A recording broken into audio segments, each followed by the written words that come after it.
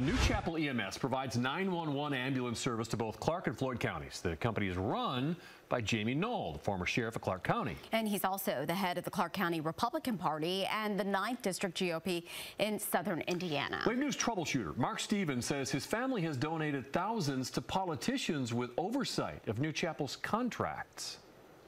Taxpayers pay New Chapel hundreds of thousands of dollars to provide, excuse me, hundreds and up to thousands of dollars to provide ambulance service and fire protection. New Chapel also bills for ambulance runs, earning millions more. The contracts are valuable, raising questions. Are elected leaders voting on them being influenced by campaign donations from the contractors? Attention Greenville, first responders, New Chapel EMS. PD's requesting assistance reference, overdose.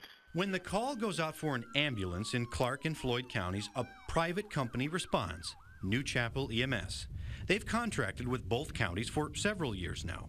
Our investigation Wednesday night found New Chapel's response times in Floyd County are not meeting the county's expectations. We're not getting the quality of service that we're supposed to be getting. We're paying for two and a half ambulances but we're not for sure where they're stationed and where they're coming from. But critics say the company keeps getting contracts because the man behind New Chapel, Chief and CEO Jamie Knoll, has the political influence to win them. Absolutely, I think it's a conflict. Floyd County Council President Denise Conkle says his dual role as a county contractor and leader in Republican politics gives him an unfair advantage. I think they should recuse themselves from voting for a vendor who they've received um, a donation from. I don't think they should vote. Knoll is the former sheriff of Clark County and currently leads the Republican Party at both the county and district levels. Our investigation of county campaign finance records found Knoll or his family members donated hundreds and sometimes thousands of dollars over the years to Republican politicians with oversight of the ambulance contracts in both counties.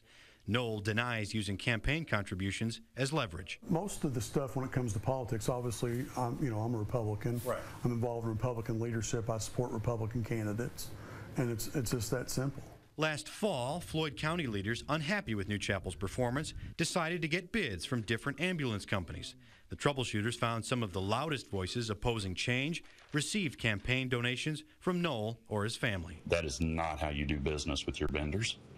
And then with these major projects coming, you guys, you too, have just sent a message that we don't care. The rate we're getting from for our, our current provider is most assuredly going to go up because you know they've saved us money for a long time. Floyd County Council member Danny Short, unsuccessful candidate Charlie Moon, and former council member Adam Roberts all received campaign contributions from the Knolls.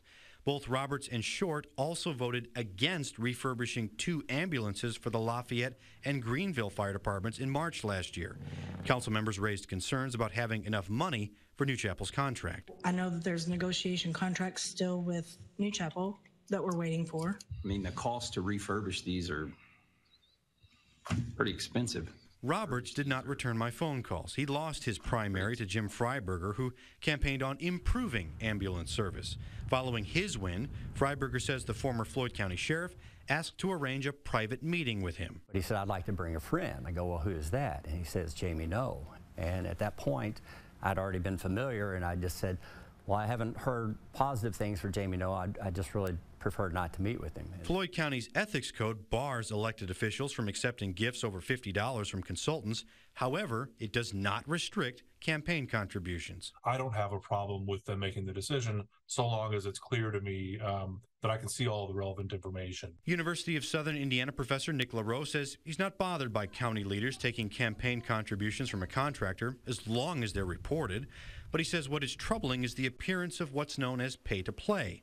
That's when companies seeking government contracts use political donations to get an edge. If you're awarding a contract to somebody who's much more expensive than the other bidders or who doesn't have a good history of work history or their quality of work or they have other problems, you would wonder why that firm was per, uh, picked and the other businesses weren't. Which brings us to Clark County. In early April, the county signed a three year contract extension with New Chapel EMS. It really took the pressure off in negotiations moving forward, and, and with inflation, we were tickled to death with the price. But the troubleshooters found the extension comes with two fewer ambulances and costs a quarter million dollars more than a competitor's bid sent in a year ago.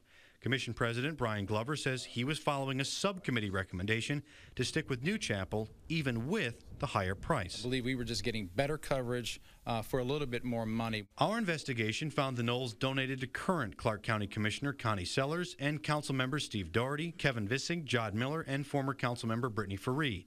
Sellers voted for the original ambulance contract in October 2020. Doherty and Vissing voted to fund it later that month. When the county extended the contract in April last year, Doherty, Vissing, Miller, and Faree approved the money to pay for a $262,000 raise. How do you separate then what's good for you politically and what's good for your company financially?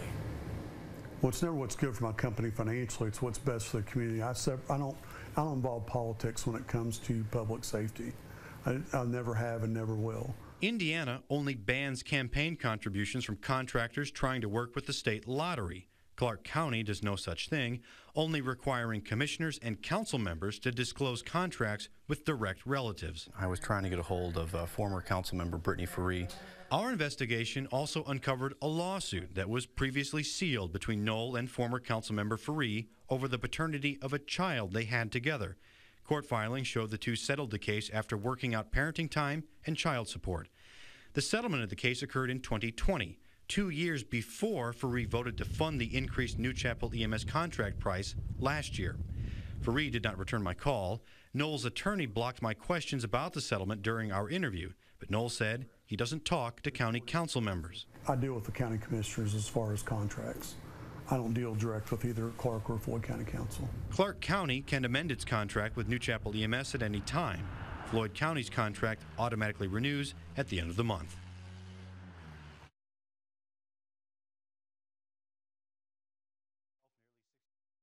dollars a year, averaging 20 hours a week of work.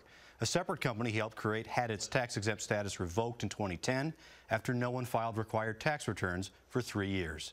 Mark Stevens, Wave News. All right, thanks.